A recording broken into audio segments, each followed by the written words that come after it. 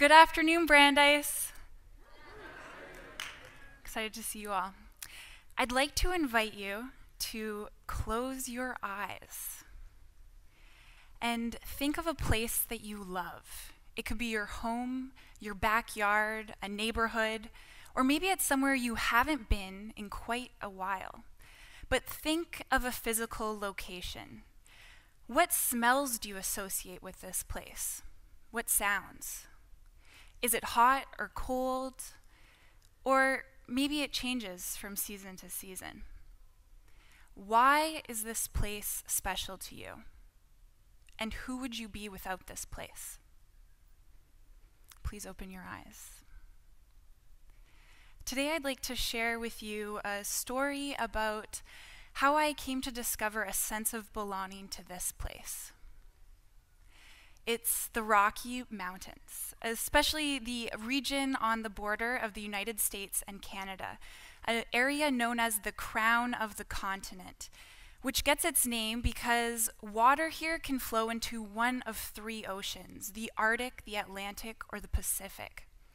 And it's an area that's celebrated for its rich biodiversity and intact ecological processes. And I grew up an hour and a half away from this place in a small town, well, a small city called Lethbridge, Alberta, which has a population of about 80,000 people.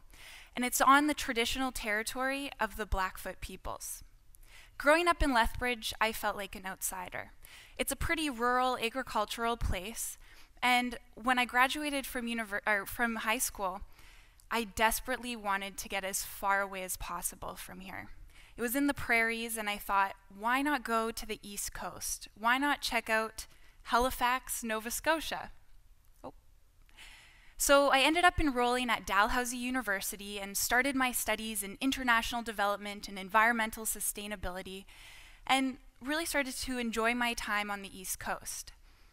Uh, but the holidays rolled around, and I ended up going back to Alberta to visit my family and friends and we went snowshoeing and downhill skiing. And I realized that I had taken for granted the place that I was from. In fact, I surprised myself in feeling that I didn't want to return to the East Coast. I wanted to stay at home. So I started plotting my return, and the next year I transferred to the University of Lethbridge to finish my undergraduate studies. And in the summers, I started working in Waterton Lakes National Park. And Waterton is a mountain park in Canada, but it shares a border with Glacier National Park in Montana.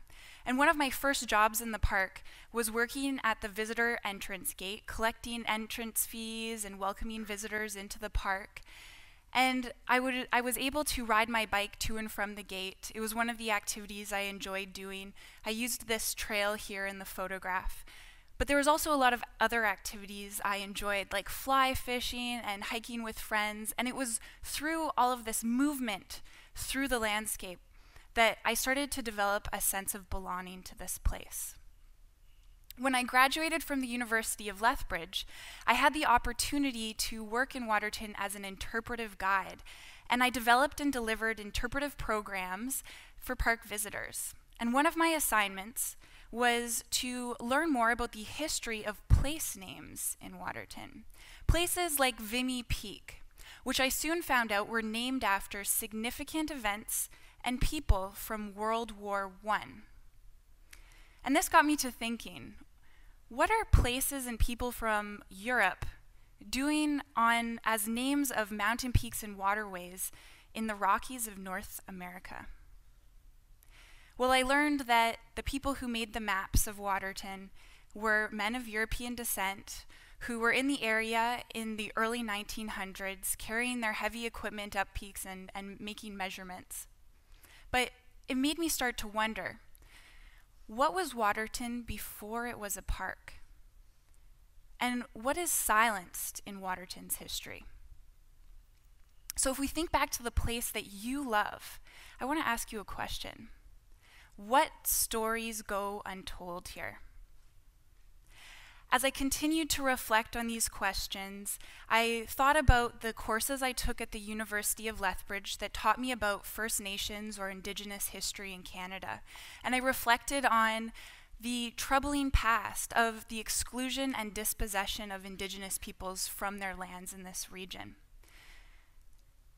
Right surrounding Waterton Lakes National Park, in between Lethbridge, my hometown, and the park boundaries, are two First Nations communities, the Piikani Nation and the Blood Tribe. Both are members of the Blackfoot Confederacy, and they share the same language, Blackfoot, and a similar set of traditions.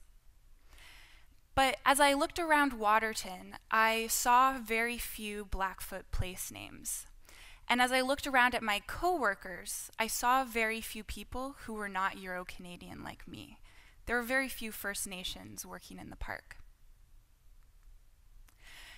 All of this inspired me, it motivated me, in fact, to go back to school because I was really frustrated and wanted to know more about how I could make a difference. I ended up here in Boston at Brandeis University, and I am doing a master's in sociocultural anthropology. And it's here that I am designing, I designed and delivered, um, designed and implemented a research project that brought me back to the Rockies. And in the Rockies, I talked to people about their perspectives on land use management issues and protected areas in the region. And it's through my research that I'm interested in interrupting injustices and dominant narratives about places. So, this is me this summer back in the Rockies doing some field work. There is power in allowing a place to nourish your sense of self. And it got me to thinking if more people connected to the places that they love, perhaps more places in the world would be cared for. I one day hope to return to the Rockies and continue to engage in its complex history and learn more about its ecological processes and challenge the dominant narratives about this place. I hope today my journey in coming to understand how important places are to our involvement in our communities has inspired you to reflect on your relationship to the places you love. Thank you.